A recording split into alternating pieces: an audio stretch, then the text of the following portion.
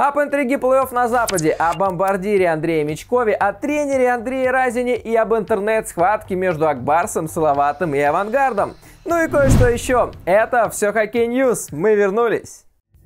Now here you go again, you say you want your.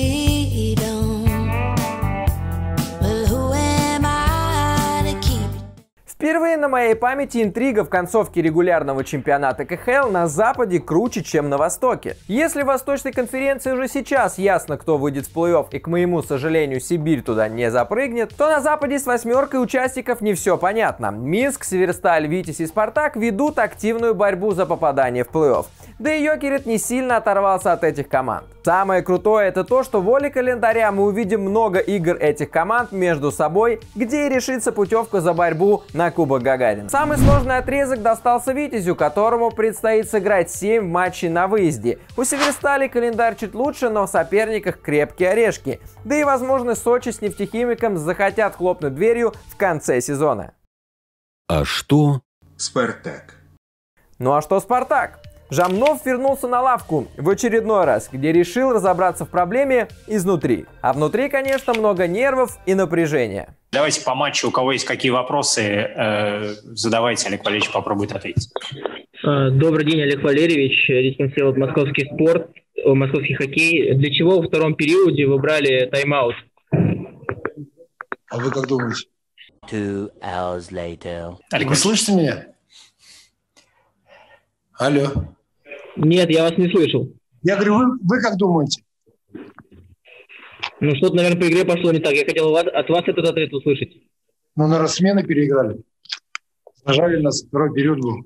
Прогноз сделать очень сложно, но я попробую. Провижу грядущее! Динамо Минск точно окажется в плей-офф. Спартак, скорее всего, свою задачу решит в последнем матче регулярки против Витязя. А Северсталь достойно в этом сезоне сыграть весной. Одна из причин – Андрей Разин. Получается, что скорее всего Витязь закончит свой сезон 27 февраля. Звучит правдеподобно, я в это верю. Ну а теперь о Разине. Если Северсталь выйдет в плей-офф, то я бы приз тренер года вручил в этом году Андрею Разину. При нем Северсталь очень достойно выглядит с любым соперником. Андрей Владимирович дает шанс молодым и открывает новые имена для российских болельщиков. Ну и все прекрасно знают, что Разин крутой мотиватор. Одна только фраза уже говорит о многом. И вот перед той игрой на экране просто высветилась фраза «В случае победы у вас будет не три дня выходных, а четыре с переводом на английский». Это очень сильно порадовало иностранцев. Все, больше установки никакой не надо. Ну и мне лично импонирует, что Андрей Разин яркий тренер, который умеет и пошутить, и зажечь команду, когда это нужно, и самая ирония у него присутствует. Уважаемые российские средства массовой информации, не ассоциируйте меня, пожалуйста, с имиджем скандального тренера. Скандалов больше нет. Есть рабочие моменты с судьями, и я не единственный тренер в КХЛ, который разговаривает с ними во время игры. Да, я не выигрывал Кубок Гагарина. В моей тренерской карьере есть только финал высшей хоккейной лиги. Но за полтора года работы в автомобилисте Голышев, Трямкин и Алексей Василевский, на тот момент совсем молодые, делали большой шаг вперед и являлись кандидатами в сборную. Северсталь за два года, что я здесь, показывает хороший, интересный атакующий хоккей. Местные воспитанники Гераськин, Кадола, Вовченко, Кудака, Хабаров, Шугаев очень сильно прогрессируют. А совсем молодые Гуслистов, э, Чижиков, Рогов и Каримов забивают голы и набирают свои первые очки. Не совсем нужные в своих клубах а Провольнев, Петуни, Дадамчук, Подъепольский нашли себя в нашей команде и прогрессируют. Пишите, пожалуйста, об этом а не ищите скандалы. Ну а решение сыграть молодежным составом против СКА, если не гениальное, то очень мудрое. Особенно учитывая прошлые игры, где Северсталь проиграла все матчи, ну и в некоторых из них были вопросы по судейству. Ментальный состав. 9 игроков из Алмаза и Молота при Камье. С чем это связано? Ну, ротация состава плюс э, Федерация хоккея России нам подсказала способ, как можно вывести в люди молодых ребят. Мы им даем шанс. Я думаю, что для них сегодня это будет незабываемое ощущение. Респектую Андрею Владимировичу за его открытость и движ. На прошедшей неделе оборвалась одна крутая серия. Тампа впервые с 2019 года не забила в регулярном чемпионате НХЛ.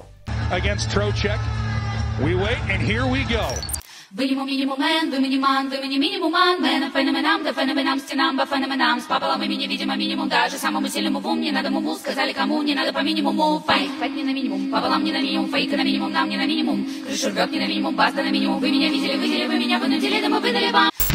Вратарь Каролины Петр Мразик отразил все 32 броска и засушил игру. То есть вы представляете, Тампа забивала на протяжении 88 игр подряд. Вау! Почти два года молнии забивали хотя бы одну шайбу в ворота соперника. На мой взгляд, это очень крутой показатель той самой Тампы, которая в минувшем сезоне брала Кубок Стэнли. А кому принадлежит рекорд такой серии?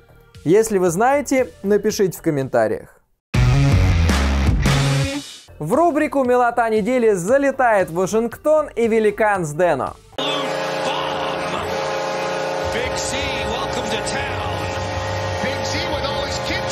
Чуть не разорвали старика на маленьких хариков. Вот такая вот реакция партнеров по команде за дебютную шайбу в составе Capitals. На мой взгляд, это очень мило.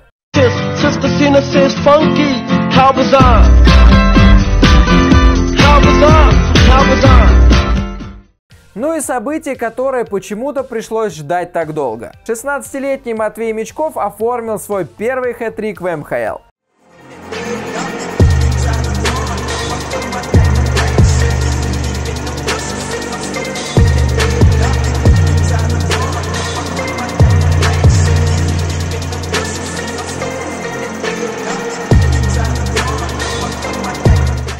Бы не коронавирус, то Матвей, скорее всего, хэт-трик забил раньше, да и очков смог бы набрать бы больше. В любом случае, его статистика и так выглядит бомбической – 44 балла в 42 играх. На данный момент Матвей второй снайпер МХЛ с 29 шайбами. Я слышал пару неприятных историй о характере Мечкова что даже пришлось брать его отца на работу в систему СКА, чтобы тот мог повлиять на поведение Матвея. Но у любого вундеркинда характер чаще всего сложный, и в этом нет ничего удивительного. Тем более, что Матвей еще очень молод, а внимание к нему серьезное. Я желаю Матвею продолжать разрывать шаблоны и статистики. Ну и, конечно, хотелось бы, чтобы Матвей стал звездой КХЛ, но не зазвездился.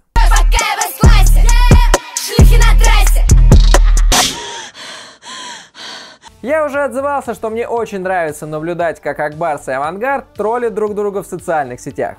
Надеюсь, и вам тоже. Вот у нас два мальчика катаются, не один, да, киселетик? Теперь в эту интернет-битву влез Салават Юлаев и поздравил Омск с выходом в плей-офф. Ой, поздравляю, конечно, их, но не от всего сердца. Как вы понимаете, ответ от авангарда долго ждать не пришлось. Поздравляю, конечно, их, но не от всего сердца. Ой, еще есть какой-то непонятные салаты, куда крошат морковку, э, капусту и яблоки с ананасами. Вообще он меня бесит. Счет на табло 1-1. Нас ждет овертайм. Кубка Гагарина, главного трофея континентальной хоккейной лиги. And there's the great goaltender, Andrei Vasilevsky, who got the shutout tonight. Там Емелин у борта на коленях пострадал. Хартиканин!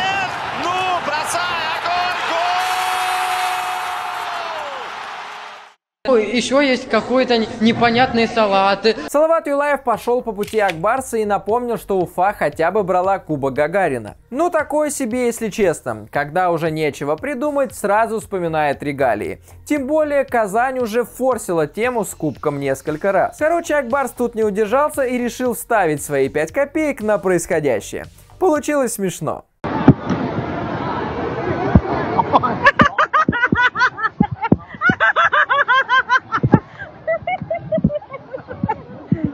И закрываем эту интернет-схватку еще одним постом от юлайцев. На этот раз уже ответ Акбарсу.